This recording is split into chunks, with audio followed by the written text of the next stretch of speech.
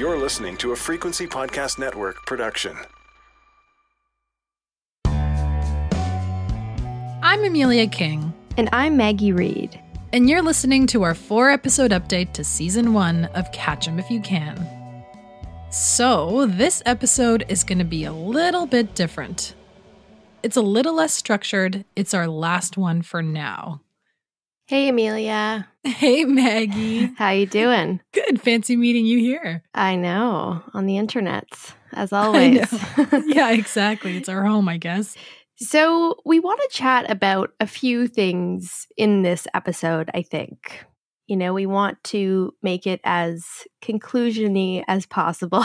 As can be in this case. Exactly. As can be. Obviously, we don't have the conclusion we necessarily want, but we do want to start maybe with some updates to the case since our last episode. Do you want to take us through those? Yeah, yeah, for sure. Okay.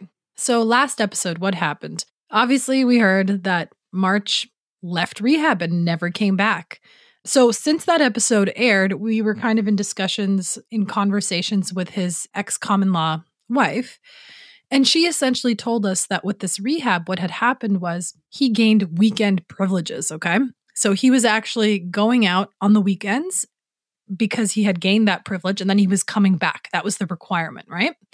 So she told us that uh, he had been going out for at least a few weeks. He had actually been meeting up with his son, his youngest son. She thinks it's, you know, to have built trust with the rehab that, look, he cares about his kid. He's going to come back. He's been coming back. And then one week, one weekend, I should say, he just never came back. Wow. And so that's what happened. Nobody knows where he is. We've been emailing back and forth this entire time, right, with the prosecutor in the case, or at least trying to, right? Haven't been getting too much communication, but we finally received a response from him. His name is Kevin. So he writes to us Hello, I know that you're all concerned about Mr. Vautour's case. Just to inform you that he's under warrant since May 1st, 2023. We will inform Marjolaine when he will be arrested. Have a nice day. Okay, so that was the big statement from the prosecutor. Like, hey, look, okay, he's under warrant again, even though the last warrant, right, this one that he's he's up against was from 2014. That's almost a decade. So it's like that doesn't leave us feeling very optimistic that they're necessarily going to get him. And mind you, Marjolaine has not heard anything, right, since then. right. Also, just to point out again, like Marjolaine was the one to inform Kevin, the prosecutor, that Marcel was even missing. Like the courts had no idea. Right, right. So he was already not really in the know. And now he's kind of informing us that there's a warrant. But we know when there's these warrants out, it's not like anybody's actively looking for him, No. right? Like nobody's out there. Where would they even start to look? Like it's, you know? Right, right, right. But they're not actively looking for him. So there being a warrant out for his arrest, it could be another 10 years essentially, exactly. which is just so oh my infuriating. gosh. And so, does Marcel's ex partner, does she think that he was essentially just using his son? Yeah. Totally. She thinks, yes, absolutely. She thinks he was using the son again as a way to build trust with the rehab. Like, look, this guy has something he cares about. He's going to return. He's been having these successful meetings. And then obviously he just he used that and exploited it and never came back. Right. He did apparently tell his son that he was headed out to Manitoba, but that doesn't make any sense, we were all saying, because that's where he's got more warrants. So, anyways, it's all very confusing, but he's gone. Right. He's gone and we and we don't know where he is. Yeah, exactly. Okay. That's not the update we wanted, but it's the update we have. so, I guess for the rest of this episode, we want to chat through a couple of things. I think one of the things we want to talk about is really some of the complexities of prosecuting serial fraud, some of the bigger systemic issues that have really become clear in this case, but we haven't always been able to go into too much depth on in the episodes. So I think we want to talk about that a little bit. We also want to chat about some possible changes to the justice system that could maybe improve things to better prosecute serial fraud. And then also just talk about some of our own reflections on the case and on the podcast. And then, of course, some of you are also probably wondering, you know, what's next? So, here to help us unpack some of this is Jordan Heath Rawlings, host of The Big Story, which is another show on the Frequency Podcast Network. Hello, Jordan. Hello. Thanks for having me. Yeah, you're welcome. We're, we're so glad you're here to help us debrief. Um, where do you want to start? I want to start with an overview of this kind of fraud in Canada. You've obviously spent a lot of time on Marcel's case, but he's not the only serial fraudster out there. So, Emilia, just tell me about the extent of it. What kind of scale are we talking about here? Okay, so last time we chatted, Jordan, we were really focused on um, romance fraud, right? We kind of talked about um, the scope and scale of general fraud in Canada. But actually, since launching the show, it's risen majorly. The Canadian Anti Fraud Centre received reports totaling nearly $530 million of losses from fraud in 2022. And that represents nearly a 40% increase over the historic 380 million in losses in 2021. Wow. And we obviously have to keep in mind that only 5 to 10% of cases are ever actually reported. So that number is so much bigger. How often do people like Marcel actually get caught and prosecuted? Clearly, it's pretty difficult in his case. Can you give me some examples of other cases and, and if they've been more successful? Oh, this is such a great question. And I think for me personally, I mean, and I, am speaking for Maggie as well, I think this was one of the most shocking takeaways from this journey that we've been on. But like, no, this is not an isolated case, not even in terms of the outcomes. Here are just like a couple of examples that demonstrate how tough this is. Okay, that were that was really shocking to us. Okay, so here's here's one example. There's this woman named Jane Elizabeth Moore of Alberta. She's been pegged the queen of cons by her victims. Hmm. And this is from one of her um, most recent schemes from 2020. She essentially told people, okay, that she was in line to inherit over 36 million from the late Doc Seaman, who was the previous owner of the Calgary Flames. Right. And she claimed she was like this big hockey heiress, okay? And just like Marcel, you know, in these fantastical tales, her history of fraud dates back nearly two decades. And just like Marcel, she goes by, you know, a whole bunch of different aliases. She's faked cancer. She faked a disease that makes your eyes and ears bleed. Like we learned through a bit of digging that she actually used needles to poke her eyes and nose and ears. Anyways, this is all very shocking, like fantastical stuff. Her first conviction dates back to 2003. Okay.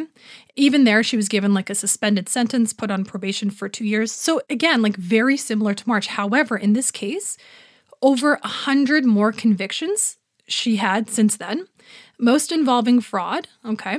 Mm-hmm. Um, she was initially charged with 399 counts of theft and of fraud for more than 350,000. She pleaded guilty, okay, to just one charge, and the judge accepted the plea and because of credit for time served, she was actually able to walk away from the courthouse that day without spending any more time in jail. And then she was on probation for like, I think, nine months.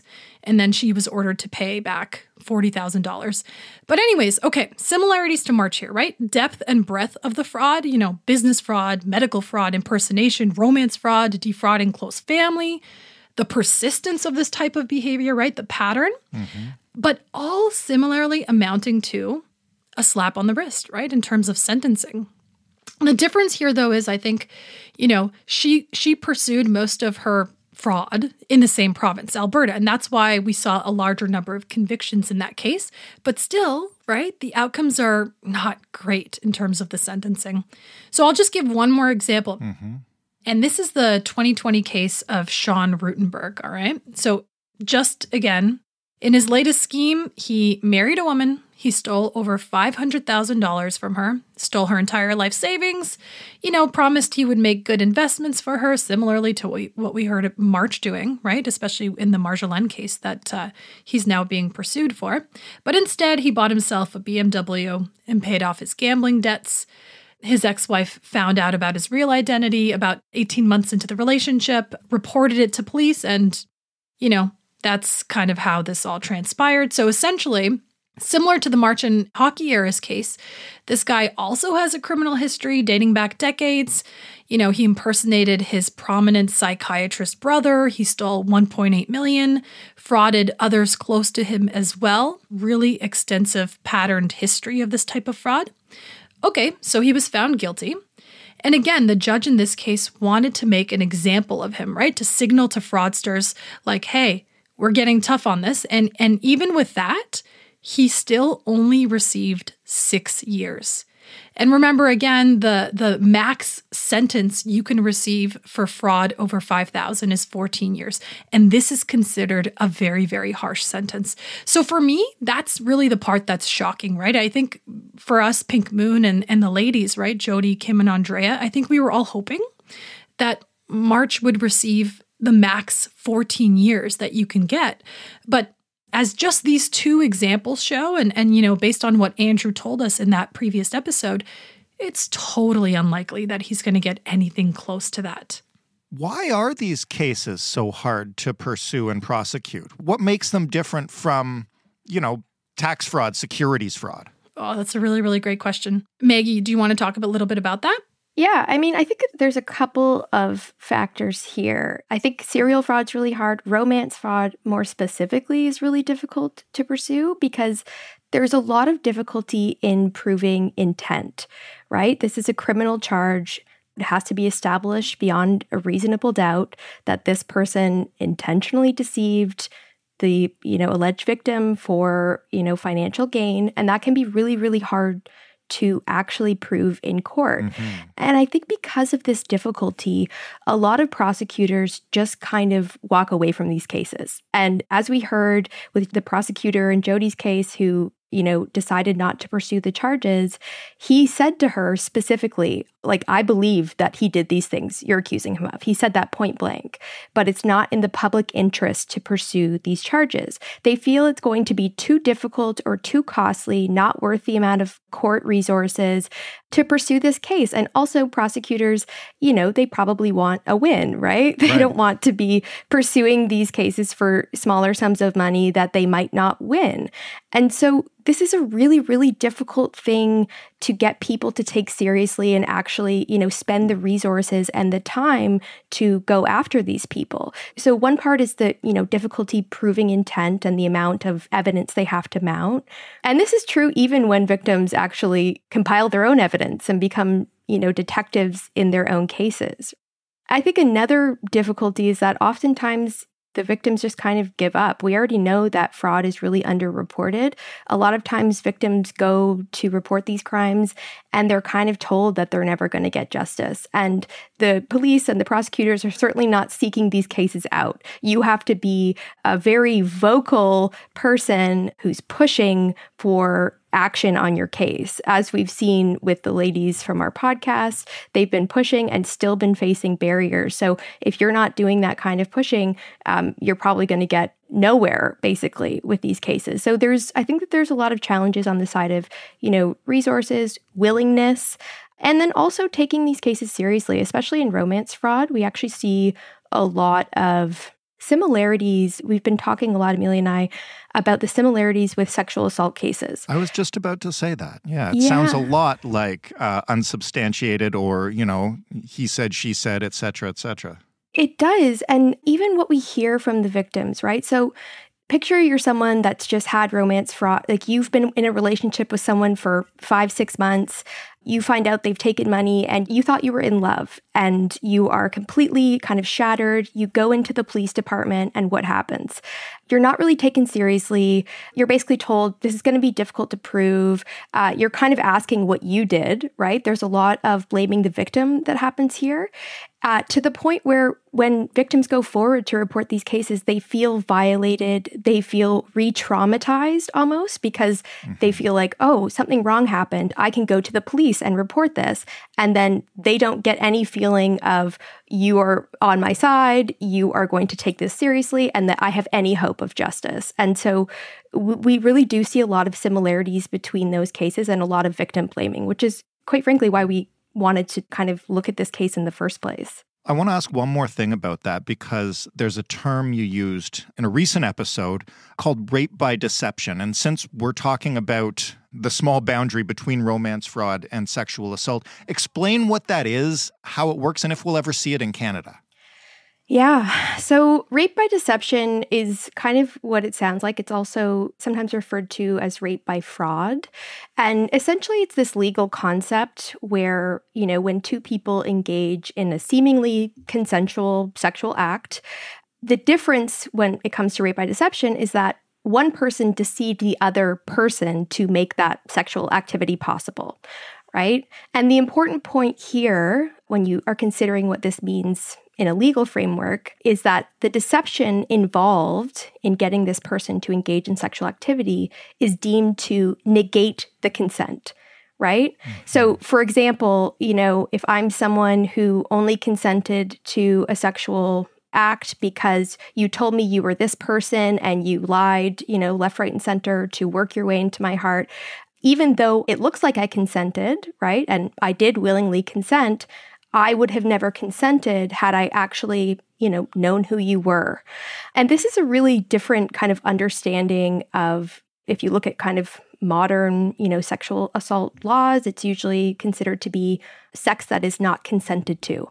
You know, there's a little bit of a gray area here, right? I mean, when someone lies to get money from someone, there's a word for it, it's theft it's fraud, right? When they lie to have sex with someone, what do we call it? Mm-hmm. And so in Canada, rape by deception doesn't formally exist, but there is some legal precedent that is related, including something that was upheld from the Supreme Court last year. So there's something that's called stealthing. Have you heard of this? Yes, it's removing the condom, right? It's removing the condom. It is. Yeah. And so there was a unanimous decision from the Supreme Court of Canada, the top court, that ruled that stealthing, so the act of either pretending to use a condom or removing one during sex without the partner's consent, can actually violate the grounds for consensual sex. So even though you consented, you didn't consent to that. Mm-hmm. Right. And this kind of does plant the seeds for understanding consent differently than just, okay, yes or no, right? As you would see in these kind of romance fraud cases. Okay, well, yes, you did consent to this. There was no physical coercion, right?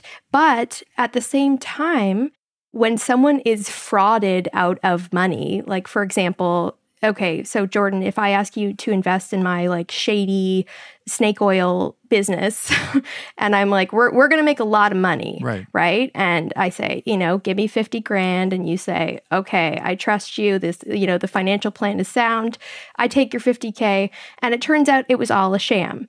Well, you willingly gave me money in that context. So you consented. Mm-hmm. However, it was under false pretenses. So in our legal system, we have mechanisms for negating consent in that context because you were lied to. So why can that not apply to sex?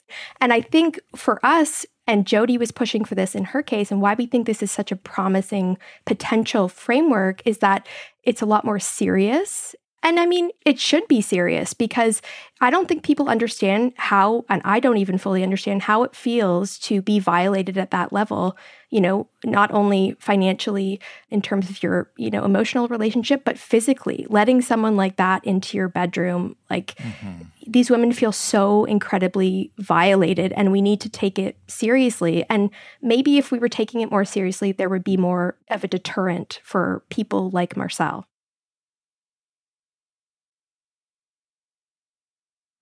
So, as cynical as it is to look at it this way, I can understand why police, at least from their point of view, as wrong as it might be, choose not to prosecute some of these cases or or make it difficult on the victims. This is a story we've seen time and time again. But once we get to the court stage and in particular the conviction stage, why do these people only tend to get slaps on the wrist then? You know, especially given, you know, everything you've outlined about how difficult it is to prove, you would think that once you've got someone in a courtroom dead to rights, that would be the time to send a message. Why not? Yeah, I think that's a really, really good question. And I think there's a few challenges. One, and especially in Marcel's case, it's really difficult because we're not seeing all of his cases being presented at once. They're all seen in isolation, especially when they're happening in different jurisdictions, right? So when he is going up for charges in Quebec, uh, we're not seeing that, you know, there's all of these other cases or charges that are being pursued against him in other places. That's actually not a factor that the judge can or will look at. So we're not even looking at any of those potential charges. They might look at his past convictions, but right now, someone like Marcel, his past successful conviction was from over 20 years ago, right? Mm-hmm. And so so when he's coming in and saying, "Listen, I have addiction problems, I've changed, I'm turning my life around." That can be kind of a believable story for someone, maybe.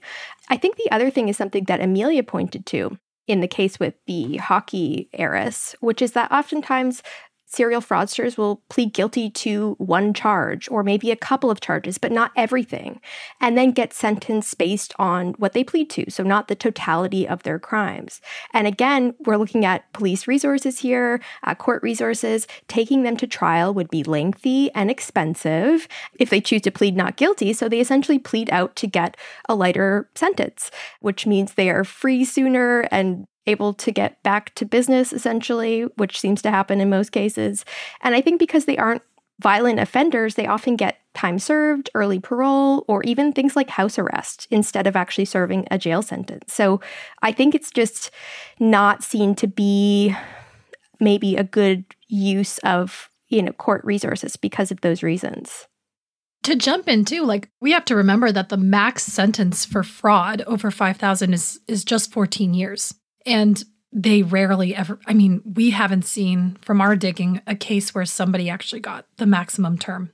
And this is what happened with Marcel in Quebec, right? In Marjolaine's case is lack of a will by the prosecution to factor in past convictions and all the alleged crimes and just focus on the one in front of them and listen to pleas about turning my life around, getting addiction help, etc.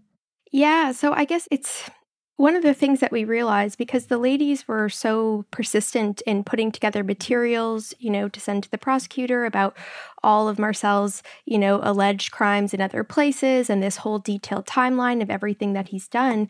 But when we talked to a lawyer who kind of gave us more context about how this actually works, none of that is being factored in to Marcel's case. Any of his alleged conduct.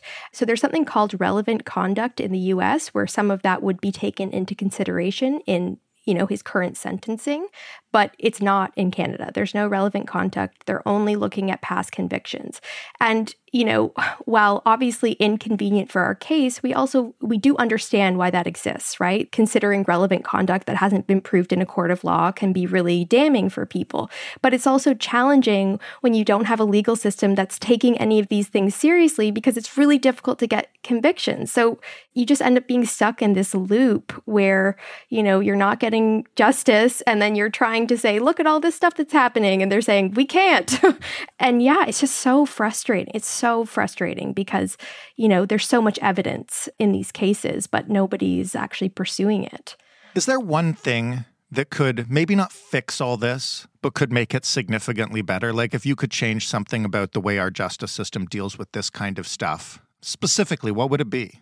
For me, I think it would start with at the point of, you know, when people report these cases, I think we need to have police be better trained to report these cases, like to actually have intake of victims.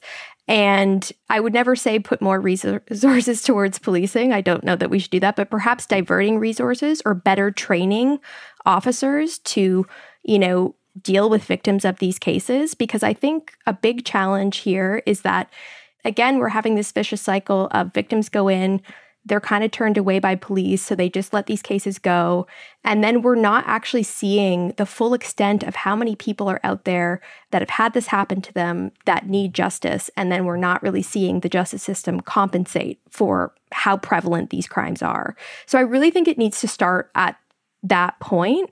Of course, there are other things like, you know, jurisdictions talking to one another, you know, having perhaps a lower threshold for Canada wide warrants would probably be a good thing in cases like this. But I really, really do think it starts at the point of the victims coming forward and how they're treated and whether they are taken seriously, because that really, it really sets the tone for what happens next. So, last question for both of you then Do you guys, now that it's all over, I know Marcel is not currently in custody, but now that this season of the podcast is over, what are you going to take away with you from the making of this that you would like people to understand a little better? Hmm. You want to go first, Maggie? I've been talking a lot. I think you go first. All right. Yeah. I think for me, the biggest realization is he's going to keep doing this. He's going to keep doing this. And like we've been, like, you know, Maggie has been talking about, you and Jordan, you've been talking about, like, the system can be made better, but there needs to be like a will to fix it. I think that's what I'm taking. It's like a very sober realization. I, I just, I didn't think I imagined it to have gone this way. I, I think I thought he would get 14 years. Yeah. Yeah. What about you, Maggie? Yeah, I mean, just to kind of to tag on to that, I think we came into this doing this investigation not liking this narrative of blaming the victim. We didn't realize that it was going to open this whole can of worms to, you know, how the justice system handles these cases. But I want to say we came into this looking at the way, you know, other true crime shows, particularly portraying romance fraud, the entertainment was really how dumb the women are right? So the audience can kind of feel detached from the victim uh, because they feel like it's a situation they would never see themselves in. And when we came into this, we wanted to flip the script on that because even if you think you could never be in that situation, and even if that's true, why are we blaming the victims rather than focusing on the perpetrators? These women feel violated, traumatized. It has an ongoing, lasting impact on their lives, their relationships, their ability to trust. And so I'm kind of taking away that I just feel like proud that we were able to tell this story and hopefully change some people's minds about victims of this crime. And, you know, I hope that we can just also expose some of the malfunctions of the criminal justice system. Maggie, Emilia, thank you both for chatting with me about this and also uh, for all the work you guys have done on this case. Thanks so much, Jordan. Thanks, Jordan. All right, listeners, thank you. Thank you so much for coming on this incredibly wild ride. It's been a twisty, turny tale that none of us really could have predicted. But this isn't going to be the last you're hearing from us. No, this is not the last you'll hear from us on this case. I mean, we're definitely going to keep following it. We'll give you updates as we have them, but we're also planning our next season. We've got a new case that we've been digging into, and it's a juicy one. So buckle up.